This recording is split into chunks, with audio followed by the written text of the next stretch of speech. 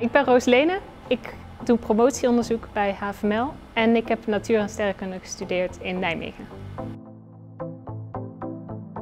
HVML is het High Field Magnet Laboratory. Hier doen we onderzoek naar materialen in hoge magneetvelden. En ik doe specifiek onderzoek naar hoe elektronen zich gedragen in een materiaal.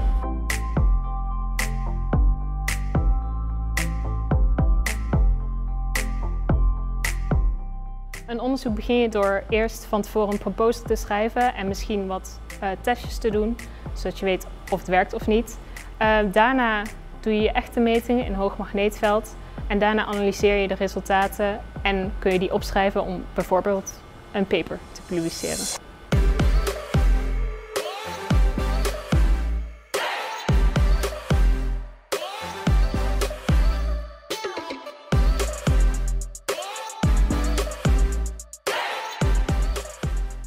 Ik doe nu vooral onderzoek aan een materiaal wat uh, superglijdend wordt bij hele lage temperatuur. Dus dat betekent dat er geen uh, weerstand is voor de elektronen in het materiaal.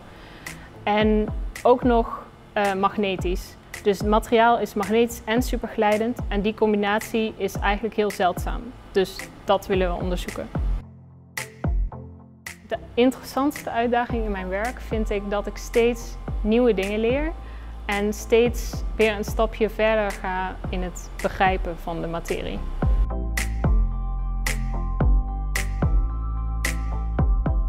Mijn bacheloropleiding heeft me heel erg geholpen met de natuurkundige basis die ik nodig heb voor mijn werk.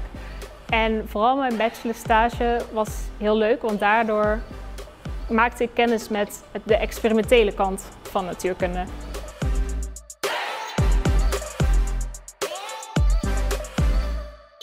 Na je studie kun je gaan promoveren zoals ik, maar je kan natuurlijk ook iets anders doen. Een vriendin van mij uh, werkt nu als data scientist bij Achmea. En een andere vriend van mij werkt in de energiesector bij Alliander.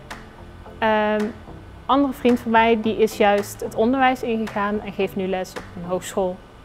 Mijn tip voor jullie, vooral als je heel graag wil weten hoe de wereld in elkaar zit, dan is dit een studie voor jou.